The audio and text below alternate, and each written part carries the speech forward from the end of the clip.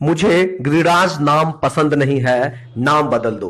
ये कहना है, पूर्व उप मुख्यमंत्री और राजद के नेता तेजस्वी यादव का। गिरिराज सिंह के द्वारा हरे रंग पर प्रतिबंध लगाने के मामले को लेकर तेजस्वी यादव ने गिरिराज सिंह पर जमकर निशाना साधा है।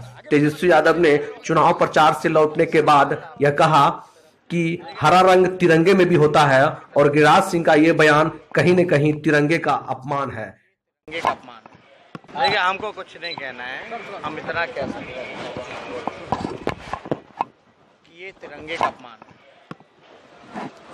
ये तिरंगे का अपमान तिरंगे में भी हरा रंग तिरंगे का अपमान है। हमको कुछ नहीं कहना। ये लोग को ना रोज़गार पे बात करना है, ना महँगाई पे बात करना है, ना किसान पे बात करना है।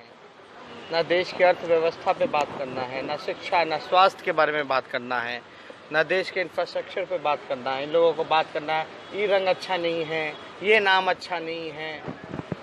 ये कौन सी राजनीति है भाई?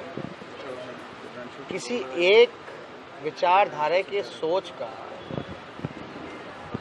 जो विचार है, वो इम्पोज तो नहीं किया जा सकता पूरे देश पे? ये देश में लोकतंत्र है कि नहीं है? मुझे गिरिराज सिंह का नाम अच्छा नहीं लगता, नाम बदल दो। सर, अमित शाह का